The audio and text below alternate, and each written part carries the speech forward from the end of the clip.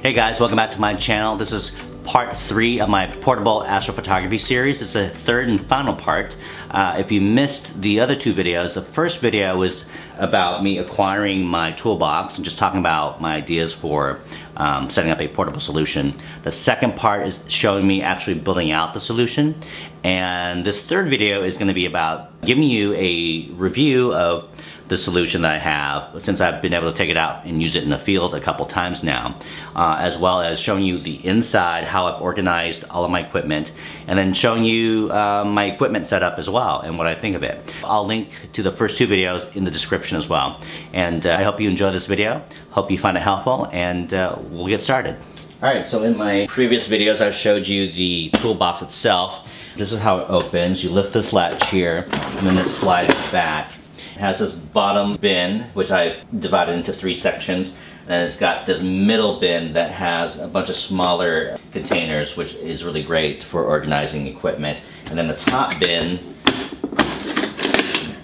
is where I keep my uh, imaging rig. Okay, so starting with the bottom bin, I've got three separate compartments that I built out using cardboard and duct tape. I know it's a little janky, but it was just for a prototype until I figure out how to make some sturdy compartments, whether that be out of wood or plastic or whatever, I'm not sure yet. So starting in this compartment over here, this is where I'm storing my counterweight shaft, the counterweight itself, um, and some other stuff, dovetail, bar, all that stuff. In the middle compartment is where I'm storing my mount. And then in this compartment here is where, well, I've got like a bunch of zip ties because, you know, you can't have enough zip ties. Um, but this is where I store my Celestron power pack. And the bottom of the compartment I've lined with pick and pluck foam as well. So it's protected on the bottom. The sides are not protected, it's just plastic. I haven't found that it's been a problem. It seems to work pretty well. And moving on to the middle compartment, this is where I'm storing all of my different uh, accessories here. I've got this case that holds all of my Allen wrenches, extraneous cables, and uh, supplies, stuff like that. This bin here holds my ZWO294 MC Pro cooled camera case. That just kind of sits there. I don't really use it. And then over here are a bunch of other cables. I'm not sure where to put yet. The more important stuff is on these two sides here. This side holds my headlamp, my mount controller. This is in there. This bin here holds AC adapters and power cords for the uh, Pegasus power box as well as the uh, Celestron power tank. So moving on to this bin here, this holds my ASI Air, the Pegasus power box, and the attached wiring harness uh, that I made using just this plastic stuff that you can order off of Amazon or, you know, get from your hardware store.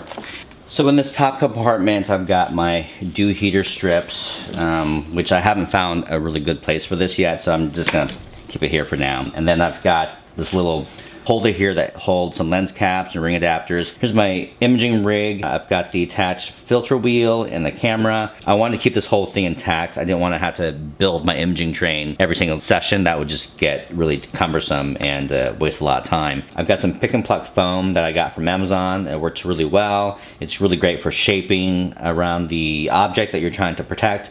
It's really easy to work with once you get the hang of it. And as you can see, it protects the entire scope. And then I also stuck some foam on the top here using double-sided sticky tape. And so that once you close it, it's nice and snug. And you know that you're protected. So the reason why I went with this was because I wanted something that was portable, something that was pretty sturdy. I will say that I've gotten a chance to take it out into the field, not only outside my apartment, about 50 feet outside, on the waterfront here in Long Island City, but also I was able to take it on a trip to Maine a few months ago, transported via ferry onto an island in Casco Bay. It survived, none of my equipment was broken. This uh, solution held up really well. What I also like is that there are three main compartments and they're different sizes. There are not too many compartments. Uh, I think if there were too many, then it'd be a little bit overwhelming. It actually would be harder to organize. So once I've got everything packed away, I'll close this up. There's a little handle back here that pulls up like this, and then you just tilt it and you roll it. And it's nice and smooth. And then the other thing I want to talk about is this here. So this is actually it's a bag that I bought to carry my skateboard, my longboard. I found that I didn't really use it that much, so I just kind of put it away for a while. And then I realized, you know what, I need something to carry my tripod in. So this is great. It actually fits perfectly. This, as you can see, it's like the perfect size. And once I zip it around, zip it back up, it actually has these two backpack straps. Put it on my back, find the other strap. And it just uh, is really easy to carry. So I used to put the tripod on the toolbox like this, lean this over and then roll it around. Uh, but that got really cumbersome because, you know, then you have to like make your way through doorways and stuff, make sure it fits. Putting it on my back is so much simpler. I can maneuver much quicker, much more easily. And now I'm gonna build my rig and then show you what I have.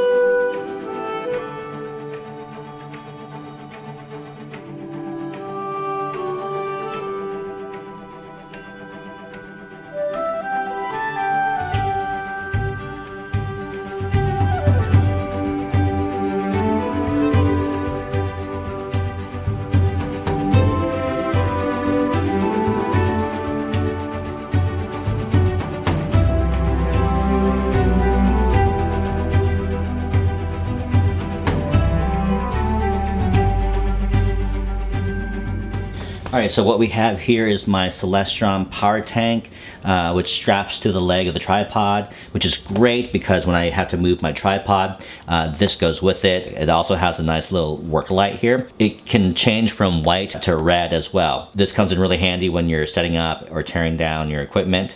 It has some uh, outputs here to charge your, um, your phone and stuff like that. Okay, so moving up, we've got the Skywatcher EQM 35 Pro mount. So this pulls out and you've got your polar finder scope here. Um, and then you remove this cap up here and you look through here to line up your mount with Polaris. This is really flimsy. I don't really like it. It falls off all the time. I just kind of use it to roughly point the mount to Polaris and then I use my ASI Air to uh, do the actual polar alignment. Uh, so I don't really use this at all. It's a nice little mount. It tracks pretty well. Uh, I've done five minute exposures on it. One thing I don't like is that your declination control module is separate from this. I just kind of wish it was just all one unit. As you know, less cables than better cable management. So what I use for control is an ASI Air. Power management is done with this Pegasus power box. I strap the two together and this whole thing just kind of velcros to this filter wheel, which I'll talk about later. So for my main camera, I've got the ZWO 294 MC Pro cooled camera, which I love a lot. I think it's maybe a little overkill for my uh, RedCat 51, but if I ever upgrade to a different telescope, I'll also be able to use this just fine. I also went with a manual filter wheel. Uh, it holds two inch filters and it has five slots in it. The reason why I added a filter wheel is because I knew I wanted to use both a L-enhanced narrowband filter as well as a L Pro uh, light pollution filter to use with my one-shot color camera. And I didn't want to have to unscrew my camera and basically disrupt my image train and open it up to dust and stuff like that, especially when I'm outside in the field. This is a much simpler solution where I can just turn the dial and switch it to whatever filter I need to. The first slot is completely open. The second slot is my L Pro filter and the third slot is my L Enhance filter. So it's actually coming quite handy when I'm shooting at night and I'm switching from galaxies to nebula and you know vice versa.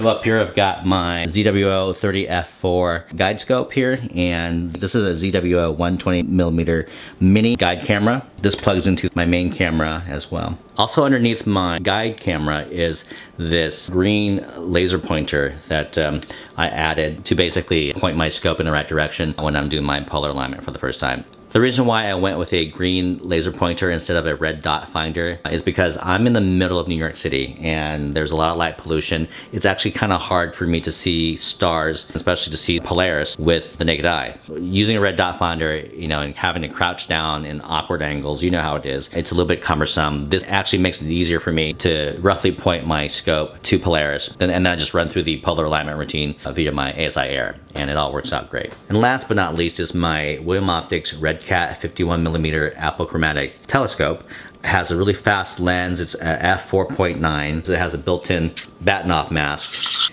So I use this Bahtinov mask to focus my telescope and it works out great. William Optics has a dew shield. This is the focusing ring here, and this is the focus lock here. I like the telescope a lot. Highly recommend it.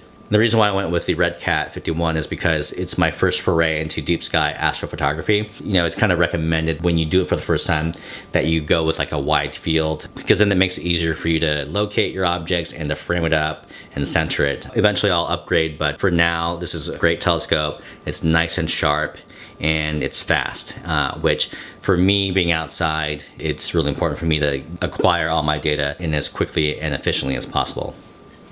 So that's my portable astrophotography rig. As you know, I live in the middle of New York City. I don't have a house with a backyard where I can uh, conveniently pull my rig out and leave it running all night and then come back in the morning and tear it all down. I have to either uh, take it upstate somewhere outside the city or I roll it out to the waterfront which is about 50 feet away from my apartment. Either way I need something that's portable, something that I can put all in one box and carry it all out at once. And uh, this has been a great solution for me. I'm really happy with it. It has not failed me yet. I mentioned the ASI Air in this video. If you want me to demo the ASI Air in a future video, just let me know in the comments and um, I'll, uh, I'll make a video for that. But this was really just to show you my entire portable solution. So that's it for the video. Thanks so much for watching and uh, I'll see you next time. Clear skies.